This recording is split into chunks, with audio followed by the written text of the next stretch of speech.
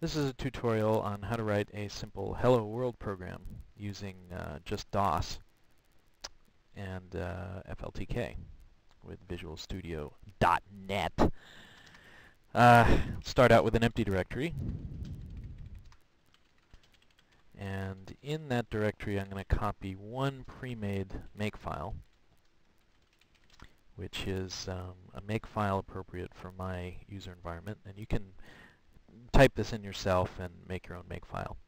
Uh, the important things in here are the uh, include for the FLTK directory and the FLTK lib itself and then all the other Windows libraries that uh, FLTK needs. So let's start out with a simple Hello World program. And this is something that all FLTK programs need to begin with is the include for fl.h. And uh, because I'm going to create a window, I have to include the FLTK window class include file. There's one include file for every class in FLTK, so um, you have to include the ones that you need or plan on using. And a simple main.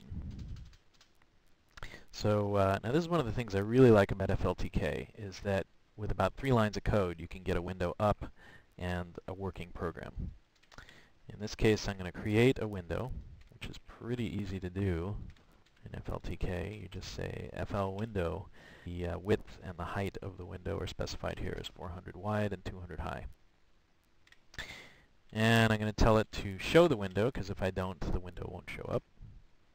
And then the last thing is uh, I return the value of uh, the FLTK command loop. This function only returns when all the windows are closed. And that should be a fully working program. Um, if I compile it with nmake, which is the make uh, program that comes with Visual Studio, uh, it compiles the program, and you can see the uh, command line that compiled the FLTK program. And uh, that's all it takes. You run it, and there's my window. There's nothing in the window, which is exactly what I asked for. No window title, no buttons, uh, just this little cancel button, which is about all I can run right now. Let me flesh the program out a little bit and stick a button in there. Uh, I'll stick in, uh, below the window definition, I'll stick in this FL button call, which will create an instance of a button, and I'll call it but. And uh, most FLTK widgets take four values, an x, a y, a width, and a height. In this case, the x and y will be 10 comma 10. The width will be 100 wide, and make it 25 high. And let's call the button uh, testing. So this should create a button in the window. And uh, because I'm using a button, which is another uh, class, I'm going to have to uh, include the flbutton.h file. And if I compile and run that, I should end up with a window with a button in it called testing. And uh, one thing I should take care of here is this window uh, has no title, and that's easy to set. If I uh, go up here to the window definition, there's actually an optional argument, which is the label. Uh, and I'll call this a hello program. And uh, when I compile that, now I've got uh, that text in the title bar. And uh, next would probably be to do something with this button, because right now it doesn't do anything when I hit it. And that's because I don't have a callback set up for the button. So uh, why don't I make a callback called uh, my function. And uh, callbacks in FLTK always return a void. And uh, the first two arguments are an FL widget pointer which is a pointer to the widget that invoked the callback, and uh, a void pointer to user data, which can be any kind of data that you want. You get to tell it what the user data is. And in here I'm going to put a little print statement.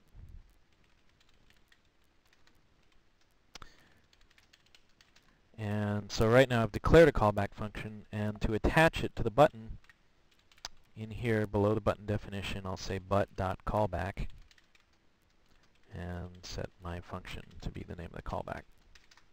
So what that'll do is whenever I hit the button um, it's going to be set up so that it calls this function, my function, whenever the button is pressed and it'll just print this little message.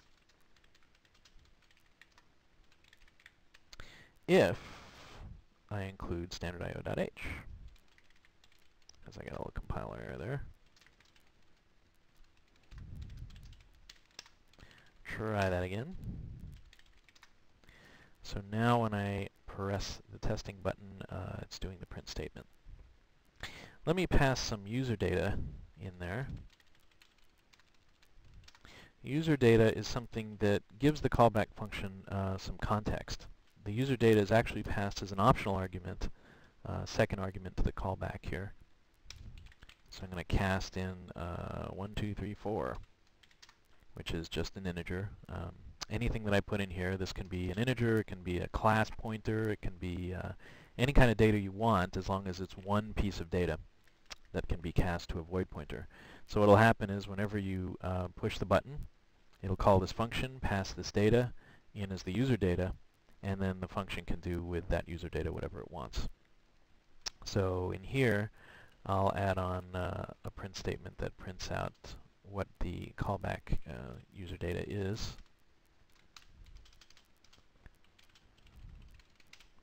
And that should print uh, 1, 2, 3, 4.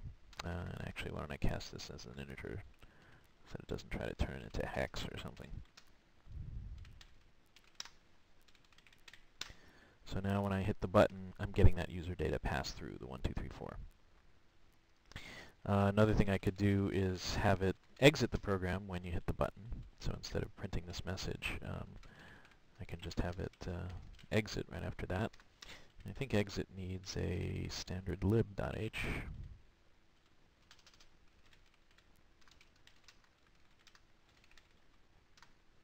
So now when I push the button, it exits the program. Uh, one other way to exit the program is to click this little exit button, which is the close window, the operating system's close window button, which is something that you can trap if you um, add a callback function for the window. So down here I can say window dot callback my quit, and if I declare a myQuit function, which is uh, very similar to the my function. In this case, I'll have it print to standard error winquit, and then have it exit. So now when I make this guy and run it, when I click the exit button, what it should do is print out winquit uh, before it exits and uh, that's what it does. And in there is where you would put uh, checks to see, for instance, if you had a program like a text editor and you wanted to check to see if the user uh, had saved their data before you killed the window, uh, you would do that checking on this callback. And if they didn't save, you could pop up a dialog saying, hey, wait a minute, wait a minute, do you want me to save? before it actually exits. And you don't even have to exit. In fact, if you get rid of this exit in here, then that X button becomes uh, useless. Actually disables uh, the ability to kill the program from that X button uh, like that. Fortunately, we have the testing button, which will exit for us. Otherwise, you'd have to kill it with a task manager or something like that. One other thing that I should probably cover here is um, how to derive a class uh, from an FL widget. Uh, in this case, I think what I'll do is derive a class from an FL window. Deriving classes is kind of interesting because then you start to make, you can make your own classes appear like they're actually FLTK classes themselves. And it has sort of the, the nature of, of turning a program like this one inside out because right now this really isn't a C++ program. Uh, this is sort of a you know, a simple C program with some uh, C++ stuff on top. But uh, to make it a real C++ program, we can define our own class. So why don't we do that? Um, and this class will derive from an FL window. So I need to make this um, public. And why don't I create some data. I'll make everything public just to make this program easy to write. Um, so for the constructor, um, I'm going to follow the same kind of prototype that the FL window has, which is this width, height, and uh, label name. So uh, up here I'll say width, height, and const char pointer name. And I'll default this name to null because uh, that's the way the actual FLTK window lets you optionally specify that argument. And uh, because I'm deriving this from an window class, I need to pass the width, the height, and the name. And in the constructor, I'll initialize the data to be 1, 2, 3, 4. And uh, I guess in here, maybe what I'll do is take all of this stuff and put it inside the class, like the, uh, for instance, the button definition, which I can drag up here. And uh, because I'm putting this now in the constructor, uh, I'll have to make this an actual allocated uh, instance, because otherwise if I do this the way it's coded here, as soon as it falls out of the constructor, this button will disappear again. So uh, what I'm going to do here is uh, make a button pointer and set it equal to an instance, a new instance of an FL button. If I can spell button. And uh, yeah, I think I'll keep all this. And because I'm making this a pointer, now that's starting to look right. So now I'm declaring the button inside the uh, constructor for this class that I'm making here. And why don't I also take this um, callback for the button, make it a private member of the class, and uh, do the same thing for the window callback itself. So I'll shove that in here too. And uh, so now it's beginning to look more like a class and less like a program. Uh, so down here I'll change this FL window to be an instance of foo and uh, change everything. And pretty much this class is going to act just like an FL window. Um, it has it inherits this uh, show method. And in fact the show method um, I can even shove inside the constructor so that I don't even need to specify it really. Um, defining the class will just automatically show the window. And uh, I can also put the callback for the window inside the constructor too, so that it automatically creates this as soon as you instance this class. So now the main becomes really simple. I just instance the window, and it automatically, uh, in the constructor, does everything. It initializes this little bit of private data, creates a button inside the window, sets a callback for the button, uh, tells the window to show itself, and sets the window quit callback um, all inside the constructor.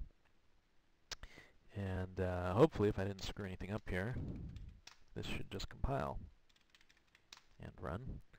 So now I've pretty much got the same program, um, and here when I click the uh, cancel button, I've still got my little win quit message, and when I push the testing uh, button, it uh, it destroys the uh, program. And uh, if I put this exit back in here, then when I uh, hit the cancel button um, or the window close button, it should uh, kill the window correctly. Anyway, that's enough for this uh, Hello World program. Uh, you can study this program and the uh, makefile by just hitting pause in your uh, player here. And this makefile is something that you might find very useful for making your own programs. I prefer doing everything, as you can see, from DOS. The next uh, tutorial that I'd recommend you take a look at is the Fluid uh, Hello World tutorial. See you there.